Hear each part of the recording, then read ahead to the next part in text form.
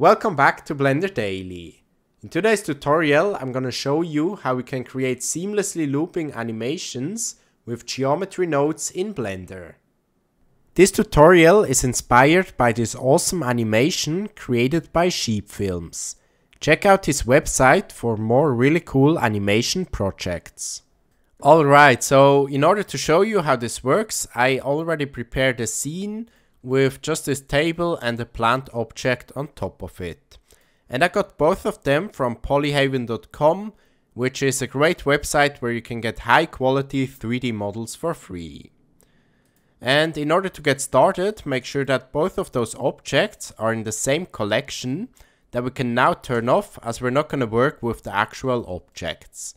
Instead, we're going to bring in another object, which in my case is going to be a plane but it doesn't really matter which object you're gonna bring in. Then let's also rename this in the outliner to let's say loop and I'm gonna open up a new window and switch this to the geometry node editor.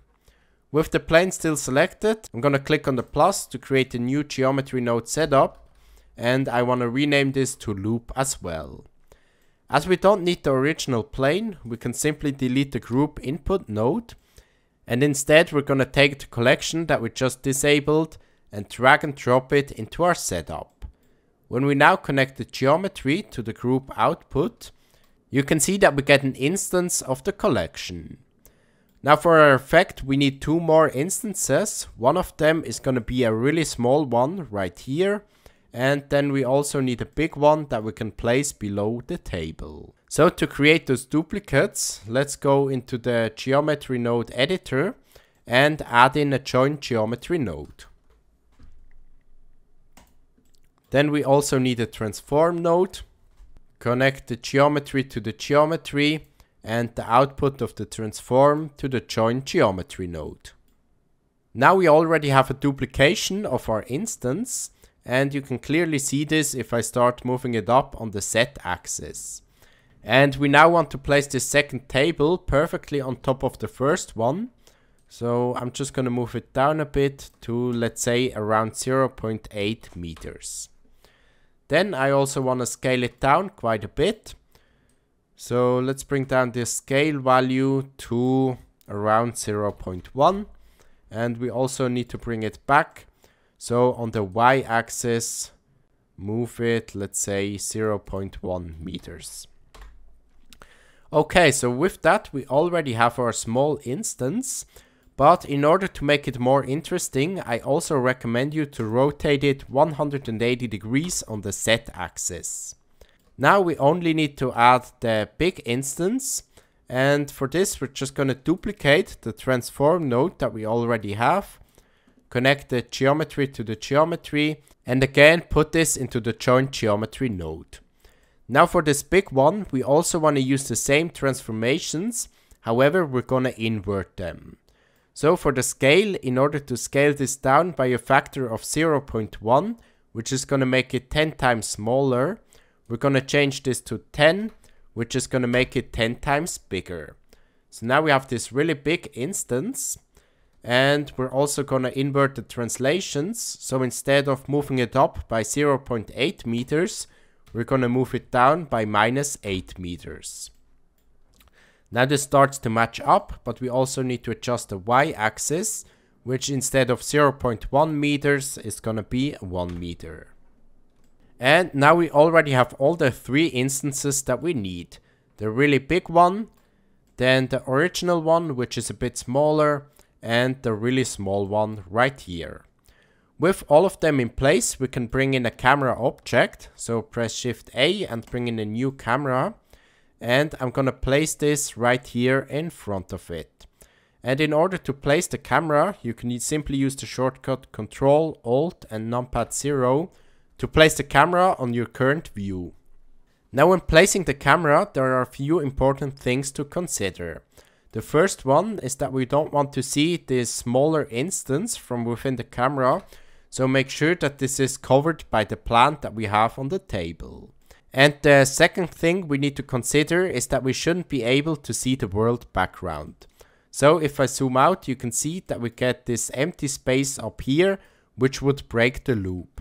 So just make sure that you're zoomed in enough so that this isn't an issue. Okay, so now we are ready to start with the animation.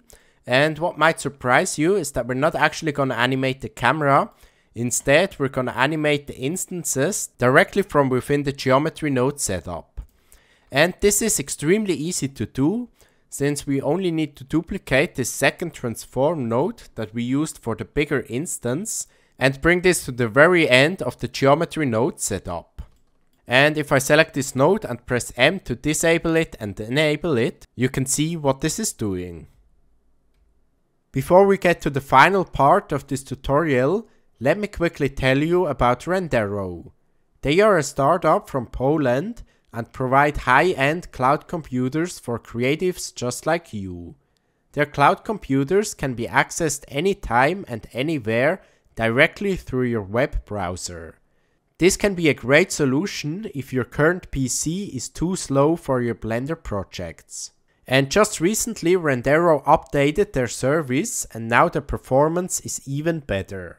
The best configuration contains 4 Nvidia A10G graphics cards and 192 GB of RAM. If you are interested, check the link in the video description for more info.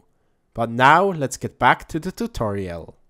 Now in order to animate it, first go to the last frame of our loop, which in my case is going to be frame 100. So I also want to change the end frame to 100 and then add our first keyframe right here. So on the transform node, hover over the values and press I to insert keyframes. If you cannot see the keyframe in the timeline, make sure that you have the object selected and that also the transform node in the node setup is selected as well. Then go back to frame 0 and here we're gonna reset all the transformations. So bring the translation to 0, the rotation to 0 as well, and for the scale bring all the axes to a value of 1. Then don't forget to add in another set of keyframes, so again hover over the values and press I to add keyframes. Then in the timeline, make sure you have all the keyframes selected, press T and change the interpolation mode to linear. And when I now scrub through the timeline, you can see that our objects start moving. And when we go into the camera view and press play, we get this seamlessly looping animation.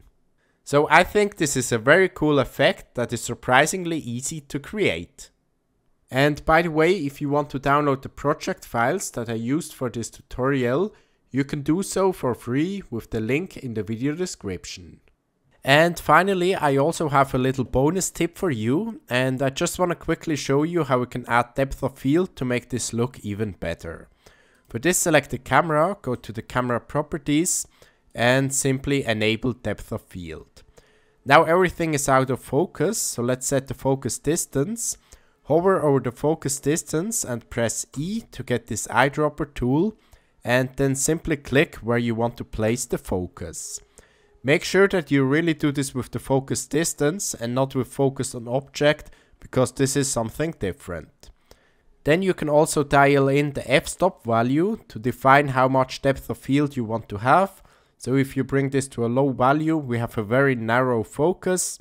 And if we increase this value, we get a bit more in focus.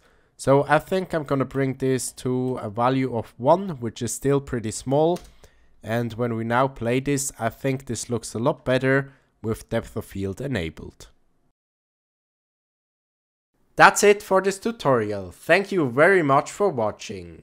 Again, if you want to download the project files that I used in this video, you can check the link in the video description. I am Nik from Blender Daily. See you in the next one.